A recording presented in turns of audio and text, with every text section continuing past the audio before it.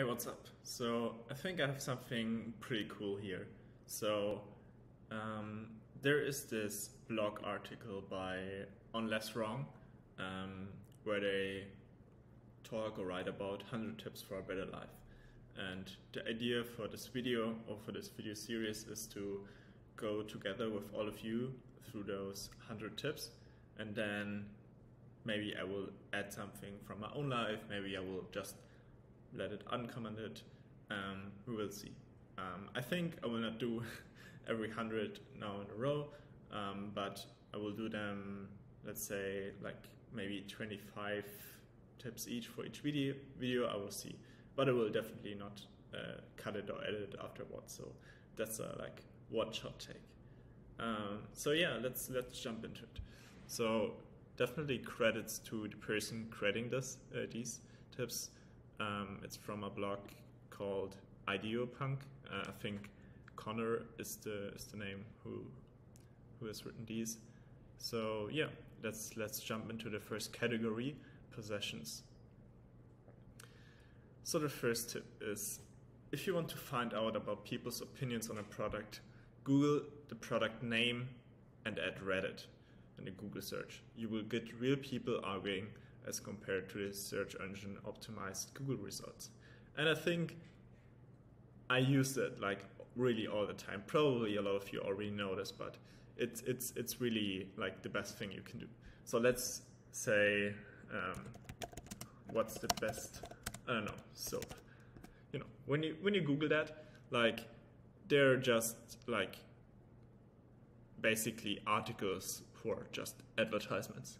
So like probably from all these articles, the best one is the one from the company or from the site who wrote the, the you know blog article. This is like basic SEO. Um, every company does this. Um, but if you know, take the same Google search and add Reddit at the end, you basically get from you know from subreddits like Ask Men or Skincare Addictions, um, people who like ask the same questions. And in these subreddits, you actually get most of the time not advertised opinions. Um, I mean, you also always have to, you know, have in mind that there are also companies knowing that and maybe putting people writing into these subreddits. So always be aware of that. But in general, you can say you get like more or less unbiased opinions in, in the comment section there. So you know, you can just see what, what, what all these people are writing and then maybe look at different subreddits and then decide what's maybe the best soap for you. So I think that's like very, um, very interesting one, very easy to do one. So definitely uh, do that in the future. Second thing is some banks charge you $20 for a month for an account, others charge you zero. If you're with one of the former, have a good explanation for what those $20 are buying. So my personal experience with this was that I also changed my bank account, I think, two and a half years ago. And at the former one, there was like very traditional and I had to pay a lot of fees and there was not really something um, I really got from the money. So I changed it to a like new bank and there it was like free and I also, you know, get way more out of it. So of course, it's sometimes a hassle to do the like changing to a new bank, um, but it's it's it's really worth it. Um, especially maybe talk to your parents um, and and ask them what they're maybe paying for their bank accounts because they may be like for 20 or 30 years in the same bank and then you know they maybe should change for to a new one so you can definitely also look into that one. Um, yeah, this is also a great one. Things you use for a significant fraction of your life, for example, your bed, office chair, are worth investing in. That's that's also very true. So I think there are probably some things where you don't need to spend that much money because you already know upfront that you maybe use it not that often or it's just temporary or something like that. But if you know upfront that you buy something which you will use a lot or will have like a significant um, impact on your life. For example, you know, you, you sleep seven, eight hours from 24 hours a day is uh, best case. So you really don't want to, you know, save money on a good mattress or on a good bed, but you really want to, to um, you know, pay maybe a little bit more um, instead of, you know, there, there's a saying who like, if you buy cheap, you need to buy double or you need to buy two, two times. Um, I think that's like very true. So really don't save money um, if you can on, on those things and save your money maybe on, you know, not on, on, on other things. Um, if you ask yourself, where's the good knife? You know that if you're looking for the good something, you also have your bad something. So when you say you have the good knife, you are, you are aware that there are also bad knives. Um, and the tip here is to actually throw these things out. So always when you came across like looking for something good, also maybe with clothes, like what are your good underwear, your good socks, throw away the bad ones, um, and rather have like less but good ones instead of a lot, but you don't know whether whose those things are good or not good. Um, and and I think that leads to that to the next one.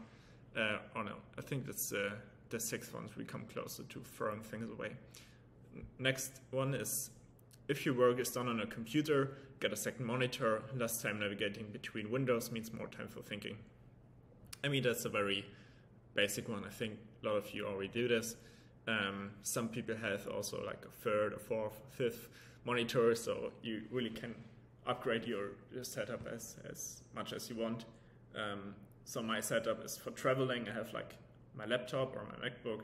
Um, and when I'm like at the office or home office, I have a Mac Mini and two monitors. So that's my um, go-to go-to setup, um, which I'm very happy with. Yeah, that's what I want to talk about about throwing things away. Establish real rules about when to throw old, out old junk. Once clear rules are established, junk will probably cease to be a problem. This is because any rule would be superior to our implicit rules.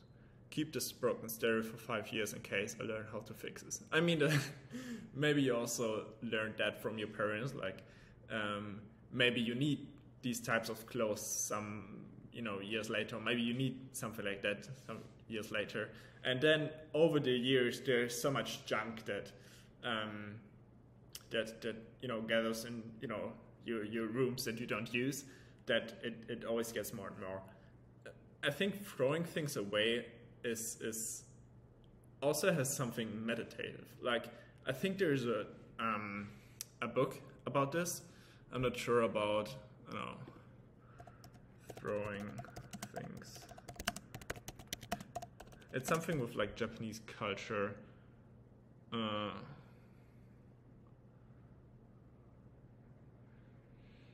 yeah. I think it's it's something like this. Maybe it's also another book, but there's like a good book about um, throwing things away and, and cleaning, basically. So um, yeah, just just throw it away. Trust me. Um, don't buy CDs for people. They have Spotify. Buy the merch from a band they like instead. It's more personal. The band gets more money. I mean, I never thought about that to be honest. Like, probably true. Um, so you can you can basically do that. Um, when buying things, time and money trade off against each other. If you're low on money, take more time to find deals. If you're low on time, stop looking for great deals and just buy things quickly online. I mean, to be honest, that's also where I'm really need to improve. So especially with the latter one, like I I'm very low on time, but I'm still sometimes like on the dumbest situations try to save money. Like i don't i don't know for for really buying things online i really compare things for like like an hour that at the end like i save like 10 bucks or stuff like that. So i really um, catch myself there a lot of times uh, even now. So i think i also need to improve on that one. But i think that's really um, necessary to do so if you're low on time um, don't spend hours and hours for looking for the great deals and just buy it if you want. One thing that helps is maybe thinking about really what you want to buy. So um, if you if you think you want to buy something, maybe wait one or two days um, and then figuring out if you really need it. If yes, then just buy it. And again, it's it's a very easy decision process you can do in your life. All right, let's go to cooking. Uh, one of my weaknesses, I would say. Steeping minutes, green at 3, black at 4, herbal at 5, good tea is that simple. I mean, I'm a big um, lover of tea. I don't really like coffee that much, so I really prefer tea over coffee. So I have a very big uh, lot of lot of teas in my apartment. Um, there are these like tea brewing machines where they, you know, uh, tea brewing machine. Yeah, Google knows what I mean. So, and they also like heat up your tea, and you have like buttons where you know they automatically um, put in the tea, and after three minutes uh, put it out, so you have the best taste for different kinds of teas. You don't really need that. Coming back to the what you really need buying. Um, but yeah, if you really like tea and want to do everything right, maybe something like that. Um, but yeah, it's it's it's I think really cool to to learn more about different kinds of uh, teas. Food actually can be both cheap, healthy, tasty, and relatively quick to prepare.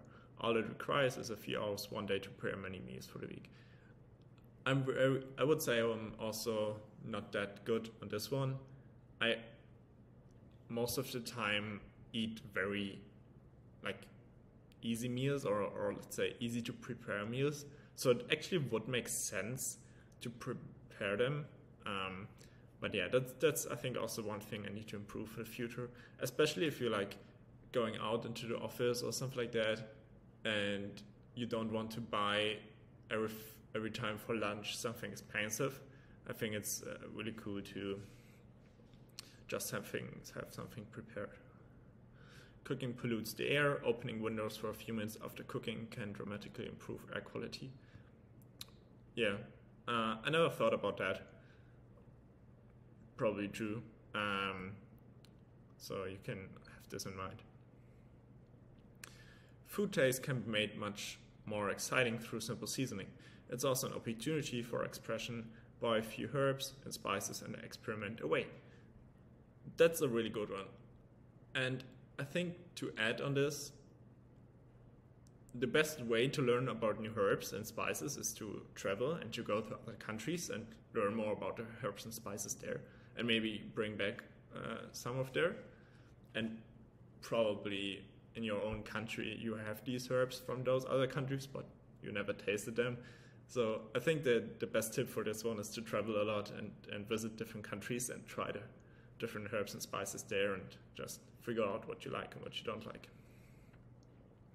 when Googling a recipe um, preceded with best, you will find better recipes. Yeah. Maybe also best and grandma will get you even better results. So grandma's best apple pie or something like that. that would be like the best of the best. Um, yeah, let's do a few more, and I think that, that that's it for the for this video. Um, productivity. Advanced search results.